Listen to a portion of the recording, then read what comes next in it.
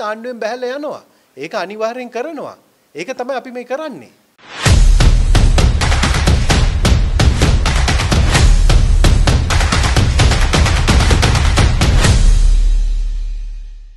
ඔබතුමාලාමනේ පත් කරගෙනන්නේ ඔබතුමාලගේ අතේමයි බලය තියෙන්නේ ජනාධිපත්තුමා මේ ඒකැන්නේ ඔබතුමාලනේ මන්ත්‍රීවරු විදිර වැඩ කරන්නේ ආණ්ඩුවේ ඉතින් එහෙම ආණ්ඩුවට සහය දෙන ගමන් ඔබතුමාලා ජනාධිපතිවරයාත් විවේචනය කරනවා මොකද්ද මේකේ තේරුමක් නෑ. ජනාධිපතිවරයා තියක් කවුරුනත් රටට අහිතකර වැරදි දෙයක් කරනවා නම් අපි ඒකට පක්ෂයක් හැටියට දැඩිව විරුද්ධ වෙනවා. ඉතින් එහෙනම් ආණ්ඩුවෙන් බහැලා යන්නකෝ. ඉතින් නෑ ඒක තමයි අපි මේ කරන්නේ. වැරදි දෙයක් කරන්න ගියොත් වැරදි දේ කරන්න හදනකොට විරුද්ධ වෙනවා. කරන්න ගියොත් ආණ්ඩුවෙන් බැහැලා යනවා. ඒක අනිවාර්යෙන් කරනවා. ඒක තමයි අපි මේ කරන්නේ. ඒ කියන්නේ රනිල් වික්‍රමසිංහ මැතිතුමාට ජනාධිපතිතුපුටුව බාර දුන්නේ ගැන පසුතැවෙනවද දැන් නෑ පසුතැවෙනවා කියන එක නෙමෙයි අපි කියන්නේ. ජනාධිපතිතුමා හැටියට රනිල් වික්‍රමසිංහ මැතිතුමා හරි වැරදි දෙයක් කරන්න ගියොත් වැරද්ද පෙන්නනවා. ඒ වැරද්ද පෙන්වා දීම මේ කරන්නේ. නමුත් එතුමා ඒ පෙන්වා දීම අහන්න නැතුව වැරදි දේ දිගට ගියොත් අ, ඒ- ඒ- එතුමා තවදුරටත් අ, මේ ඒ පාර්ලිමේන්තුවේ රජයක් හැටියට අපේ සහාය ලබා දෙන්නේ නැතුව එතුමාගේ රජය එතනින් එහාට අවශ්‍ය කටයුතු අපි සිදු කරන පක්ෂයක් හැටියට. ඒ කියන්නේ දැඩිව ඒ තීරණේ ඉන්නවා. නෑ අපි හැමදාම මේ තීරණය දැඩුව හිටියා. ඒ කියන්නේ මේ රටට අහිතකර දෙයක් කරන්න නෙමෙයි අපි එතුමාට මේ රට බාර දුන්නේ. දැන් ඔබතුමාලාට ඉන්න චෝදනාවන්නේ මේ ජාතික සම්පත් විකුණන එකටත් අත උස්සන්න එපා කියලා මේ ළඟදිත් උද්ඝෝෂණයක් කරන්නේ ඔබතුමාලාට මේ රටේ ජාතික සම්පත් සුරැකුවේ මහින්ද රාජපක්ෂ ජනාධිපතිතුමා. මීට කලින් ඔය හිටපු අගමැතිවරු ජනාධිපතිවරු විකුණලා තිවිච්ච ජාතික සම්පත් නැවත මුදල් ගෙවලා රජයට අරගෙන ආරක්ෂා කරේ මහින්ද රාජපක්ෂ ජනාධිපතිතුමා. ජාතික සම්පත් සුරකීම සම්බන්ධයෙන් කවුරු හරි මේ අ, අපිට ඇඟිල්ලක් දික් කරන්න හදනවා නම් ඒ ලංකාවේ ඉතිහාසය නොදන්න අඥාවන්ත තැනැත්තෙක් මිසක් මං හිතන්නේ ලංකාවේ පහුගිය දේශපාලන ඉතිහාසය දන්න බුද්ධිමත් පුද්ගලයෙක් කවදාවත් ඒ චෝදනාව අපිට කරන්නේ නැහැ. ඉතින් මේ රටේ ජාතික සම්පත් වෙනුවෙන් හැමදාම පෙනී හිටපු පක්ෂයක් හැමදාම පෙනී හිටපු නායකයින් සිටින පක්ෂයක් හැටියට අපි කවදාවත් එවැනි දෙයක් කරන්නේ නැහැ. එවැනි දෙයකට අපි ඉඩ දෙන්නෙත් නැහැ. එවැනි දෙයකට උදව් කරන්නෙත් නැහැ. ඒ කියන්නේ අනිවාර්යයෙන්ම මැතිවරණ තියන්නම ඕන. කල් දාන දෙන්නෙම නෑ කොහොම කෙසේ කොහොමද? අපි කිසිදු ආකාරයකින් කිසිදු මැතිවරණයක් කල් දාන්න මේ සහයෝගයක් දෙන්නේ නැහැ. දැන් ඔබතුමාලා ඉල්ලන්නේ මහා මැතිවරණයක්ද ජනාධිපතිවරණයක්ද? නෑ අපි. අපි හිතනවා මහමැතිවරණයක් කලින් පැවැත්වුවොත් හොඳයි කියලා.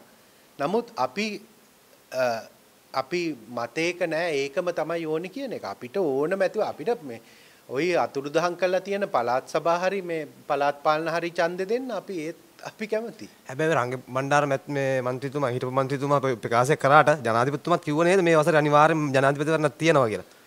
නෑ ඒක තමයි අපිටත් තියෙන ප්‍රශ්නේ. එතුමා නායකත්වය දන්න පක්ෂේ මහලේකම්වරයා මෙවන් ප්‍රකාශයක් කරාම එවැනි ප්‍රකාශයක් කළා ඊට පස්සේ ඒ ප්‍රකාශයේ වගකීම අපේ පක්ෂේ නිර්මාතෘවරයා පිට පටවන්න යන එක අපිට ප්‍රශ්නයක්. මොකද ඒ ඒ ප්‍රශ්නය අපේ ප්‍රශ්නයක් නෙවෙයි. අපි ඒකට හැමතිස්සෙම විරුද්ධ වුණා. නමුත් මේ දැන් මේ අ, අපි අපි දකිනවා යම්කිසි කුමන්ත්‍රණකාරී පිරිසක් අ, මේ සම්බන්ධ චෝදනාව බැසිල් රාජපක්ෂ මැතිතුමා පිට පටවනවා. නමුත් බැසිල් රාජපක්ෂ මැතිතුමා දිගින් දිගටම හිටියේ අ, පුළුවන් තරම් ඉක්මනට පාර්ලිමේන්තු මැතිවරණයක් ලබා දෙන්න අ, මොකද අපිට හැකියාවක් නැහැ කලින් අ, ජනාධිපතිවරණයක් පවත්වන්න හැකියාවක් නැහැ. රටේ තියෙන නීතිය අනුව ඒකට නිශ්චිත දවස් කීපයක් තියෙනවා. ඒ දවස් ඇතුළත තමයි අ, මැතිවරණ කොමිෂන් සභාව අ, ජනාධිපතිවරණය පවත්වන්නේ. නමුත් අ, පාර්ලිමේන්තු මැතිවරණය ඉක්මන් කරන්න හැකියාවක් තියෙනවා. ඒක තමයි අපි ඉල්ලා සිටියේ බැසිල් රාජපක්ෂ මැතිතුමා ඉතා පැහැදිලිව ඉල්ලා හිටියේ ඒ කාරණේ. දැන් ඔබතුමාලා කියන්නේ එක්සත් ජාතික පක්ෂ මහලේකම්වරයානේ මේ ප්‍රකාශ කරේ. ඒක වගකීම අනිවාර්යයෙන්ම ඒකේ නායකයා රනිල් වික්‍රමසිංහ මැතිතුමානේ. ඒක ජනාධිපතිතුමා මේක වගකීම ගන්න ඕන. ජනාධිපතිතුමා ඒ වගකීම ගන්න නැත්නම් එතුමා ඒ සම්බන්ධයෙන් ප්‍රකාශයක් කළා කියන්න ජනතාවට මේ මේ වගකීම මම ගන්නෙ නැහැ.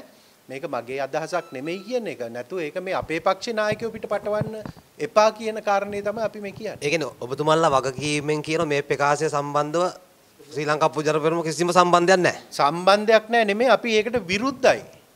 අපි ඒකට එකඟ නැහැ.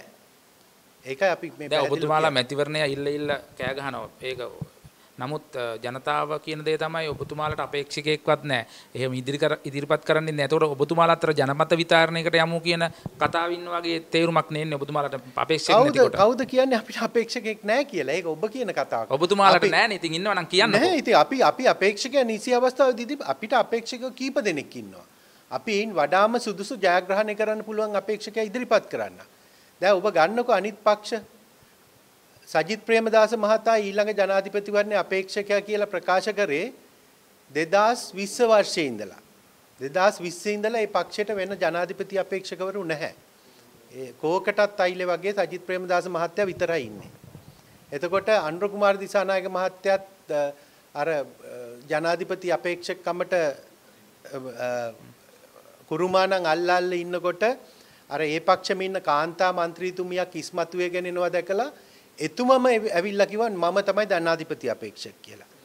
සජිත් ප්‍රේමදාස මහත්තයත් එතුමාම අර මේ මේ ඒ පක්ෂ සභාපතිතුමා එතුමාට විරුද්ධව අපේක්ෂකත්වය ගන්න හදනකොට එතුමා ඉස්සරහට ඇවිල්ලා කිව්වා මම තමයි අපේක්ෂකයා කියලා. මේ අද ඉන්නේ ඔක්කොම Taman විසින්ම පත් කරගත් ජනාධිපති අපේක්ෂකයෝ. නමුත් අපේ පක්ෂය එහෙම නෙමෙයි. අපේ පක්ෂය හරි විදියට හොයලා බලලා ජයග්‍රහණය කරන්න පුළුවන් අපේක්ෂකයා නිසි වෙලාවට ඉදිරිපත් කරනවා. ඒක ඉතා පැහැදිලිව කියනවා. මොකද අපේ පක්ෂයේ තමයි අපේක්ෂකවරු කීප දෙනෙක් ඉන්නේ. අපි දිනන්න පුළුවන් අපේක්ෂකයා නිසි අවස්ථාවේදී නම් කරලා ඉදිරිපත් කරනවා. මාලිකව තමයි දැන් අවුරුදු 4 තිබුණු මේ ජනාධිපති දූර කාලයේනේ මේ පහකට ආවේ මෛත්‍රීපාල මහත්තයා කාලේ. දැන් ඒකම මේ දීර්ඝයක් වෙන්නද හදන්නේ මේ දෙකකින් කල් දාන්නලා ඒ දේද මේ වෙන්න හදන්නේ. නෑ අවුරුදු 7කට නෙමෙයි තිබුණේ අවුරුදු 6කට තිබුණු ජනාධිපති දූර කාලය අවුරුදු 5කට අඩු කරා. ඒක අ, ඊට පස්සේ අ, 19 වෙනි සංශෝධනය මගින් 20 වෙනි සංශෝධනයේ අවස්ථාවේදීත් අ, යම්කිසි සමහරු මතයක් ගෙනාව නැවත ඒක 6ට දීර්ඝ කරන්න ඕනි කියලා. නමුත් ගෝඨාභය රාජපක්ෂ ජනාධිපතිතුමා ඒ ස- ඒ- ඒට එකඟ වුණේ නැහැ. එතුමා කිව්වා නෑ අවුරුදු 5 ප්‍රමාණවත් අවුරුදු 5 පහේම ඒක තියන්න කියන කාරණේ ඒ අනුව අ, එය වෙනස් කිරීමක් කරේ නැහැ.